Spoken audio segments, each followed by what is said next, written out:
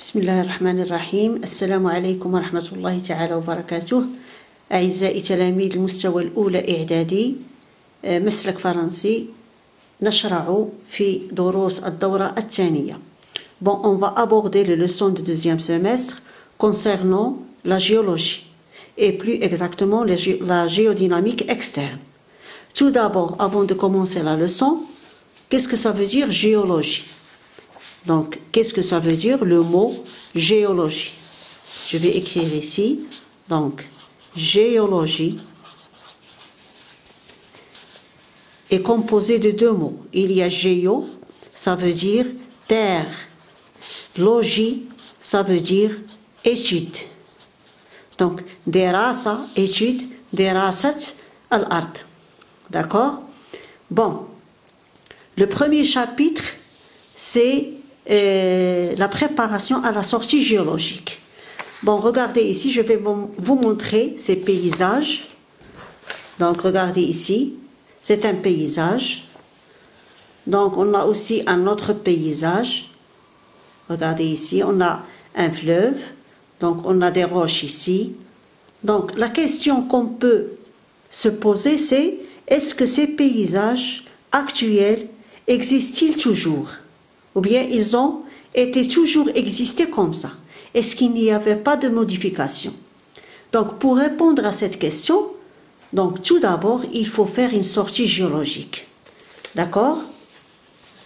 Bon, la sortie géologique nous permet d'étudier la géodynamique externe.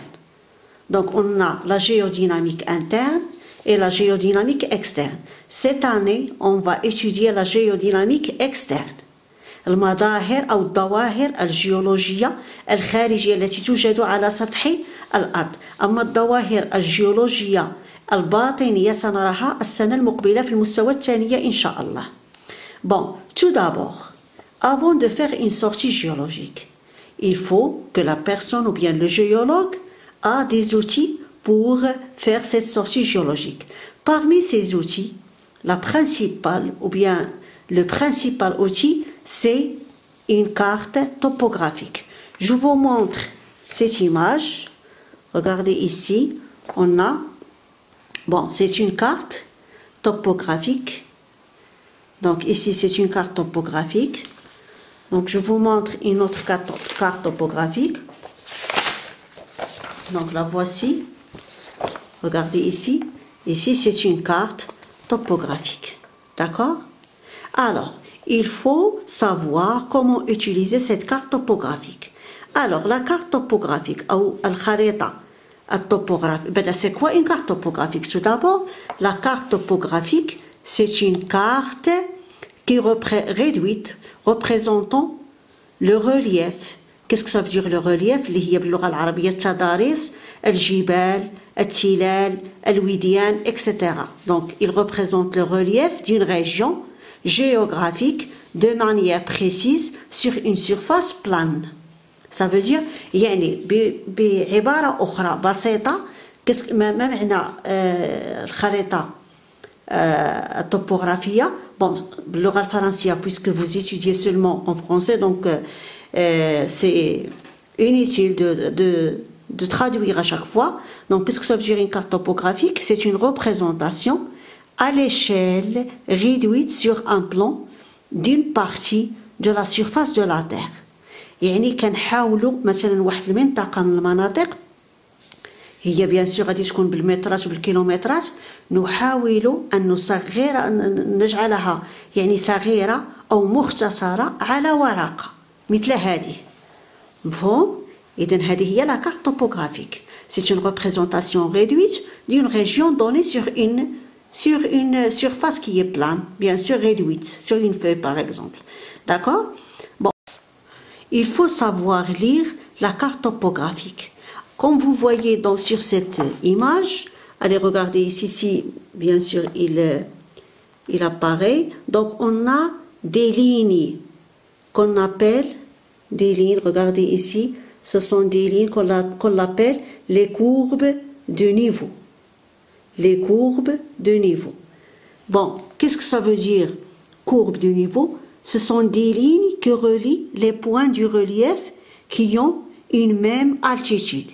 يعني هاد الخطوط الم... هاد المنحنيات منحنيات المستوى نسميها منحنيات المستوى باللغة العربية. ماذا تمثل؟ تمثل جميع النقاط. يعني المناطق إن صح التعبير المناطق التي لها نفس الارتفاع. Ont euh, la même altitude. Tous les points qui ont la même altitude. Ce sont des, des lignes qui sont courbées. Je ne sais pas si vous voyez bien. Je vais essayer de grandir. Donc regardez ici, ce sont des courbes de niveau. D'accord? Bon, on a ici des points côtés. Regardez, points côtés, ce sont des points portant des chiffres d'altitude précise. Des points côtés, on a des points et on met l'altitude. C'est une altitude qui est précise. D'accord?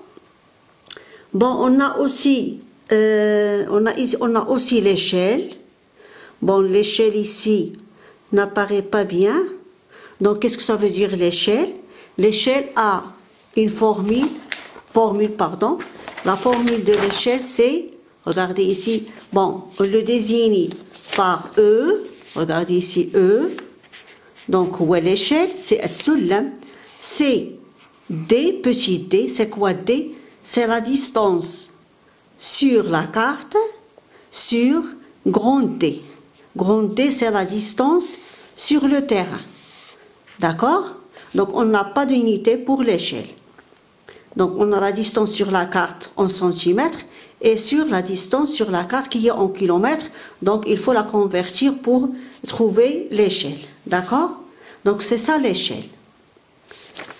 Euh, on a aussi ces flèches ici. Bon, regardez ici ces flèches qui sont en haut. C'est, ils indiquent le nord géographique. Donc, je ne sais pas si vous voyez bien. Donc, on a ici N, c'est le nord géographique, l'Est, l'Ouest et le Sud. D'accord? Donc, c'est ça la carte topographique. Euh, une autre chose qui est très importante, c'est la boussole. Donc, la boussole, donc elle est nécessaire pour savoir ou bien pour orienter notre carte. D'accord? Je vais vous montrer comment orienter une carte topographique. Regardez ici, voici une boussole, comme vous le voyez. Donc, il y a ici le nord, on a un nord magnétique, l'ouest, l'est, etc. Donc, comment orienter notre carte? Il faut d'abord poser, la boussole comme ça sur la carte et donc regardez ici et faire tourner, faire tourner la carte. Donc je ne peux pas tourner parce qu'elle est dans, sur le, dans le livre. Il faut tourner la carte topographique jusqu'à ce que le nord magnétique qui existe sur la boussole coïncide avec le nord géographique. D'accord? Jusqu'à ce que le nord magnétique coïncide avec le nord géographique. Dans ce cas, on dit que la carte, elle est orientée. La carte est orientée. Donc ça, c'est la boussole. Les autres outils qu'on doit, apporter avec nous lorsque nous voulons faire une sortie géologique, le marteau. Un marteau, bien sûr, pour arracher des échantillons des roches, euh, pour les étudier. Euh, aussi les jumelles, pour, voir de près euh, les paysages, loupe de terrain, bien sûr, appareil photo pour photographier, etc. Donc, et aussi, une chose qui est très importante, le HCl, l'acide chlorhydrique. Pourquoi on utilise l'acide chlorhydrique? L'acide chlorhydrique, ou bien le HCl, on l'utilise pour détecter. Pour détecter quoi? Le calcaire, les roches calcaires. D'accord? Alors, pour voir si la roche est calcaire ou non, je dois verser quelques gouttes de HCl sur la roche. Si la roche fait effervescente, donc elle est, elle est comment Il contient du calcaire.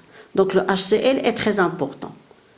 Bon, ce sont des outils les, les plus importants. Il y a d'autres outils bien sûr, mais j'ai cité seulement les outils qui sont très importants. D'accord? La prochaine vidéo, je vais vous montrer comment réaliser un profil topographique et à bientôt.